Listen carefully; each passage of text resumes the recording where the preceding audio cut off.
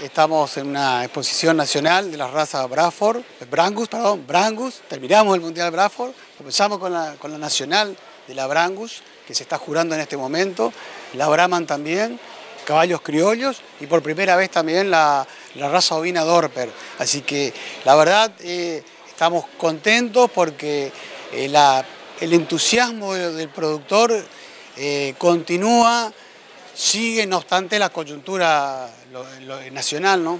Eh, eh, ¿En qué, influye entonces esta, coyuntura a nivel nacional? Bueno, ahora por ejemplo la, falta de combustible y demás. Bueno, ahí mencionó justamente un punto, uno de los puntos es eso, antes siempre las reglas cambian, digamos, antes fue la carne, hoy tenemos el gasoil, mañana no sé si no tenemos el gas, entonces...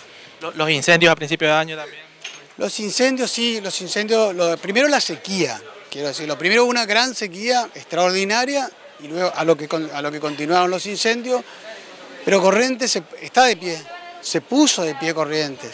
Y hoy, con el entusiasmo de los productores eh, y con una mirada más, eh, más, eh, más hacia, adelante, un poco más lejana, se pueden, realizar, se pueden realizar eventos de este tipo. Está lo mejor de la genética del país, está acá en Corrientes, hoy en nuestra rural, más allá de nuestra rural en Corrientes, y apuntamos a que Corrientes sea el gran centro de la ganadería del, norte del país y también, lógicamente, de países del Mercosur y de Latinoamérica.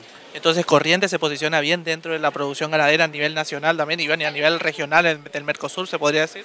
Sí, sí, mire, hay delegaciones en este momento de, lógicamente, presidentes de Brangus que están del Uruguay, del Brasil, del Paraguay, de Bolivia, eh, también de Estados Unidos, o sea, hay muchísimos eh, eh, eh, muchísimas asociaciones Brangus del, mundo que están, que están siguiendo y van a seguir por los distintos medios, sobre todo por digital.espoagro.com.ar. Es decir, lo que estamos viendo nosotros acá presencialmente lo está viendo el mundo.